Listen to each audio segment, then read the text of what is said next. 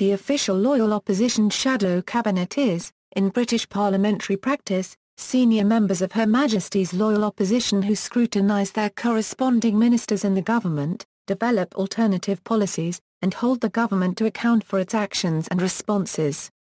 Since May 2010, the Labour Party has been Her Majesty's loyal opposition, and its leadership therefore forms the current shadow cabinet.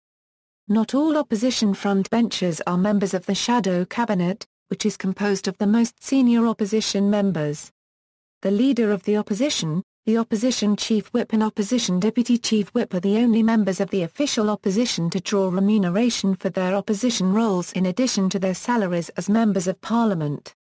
The leader of the opposition and the opposition chief whip in the House of Lords also receive a salary.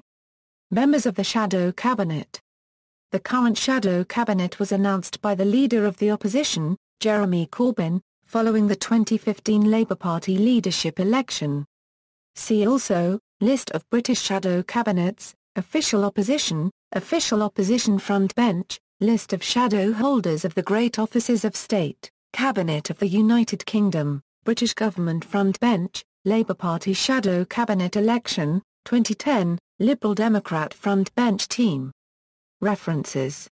External links, Government and Opposition. A Euro official UK Parliament webpage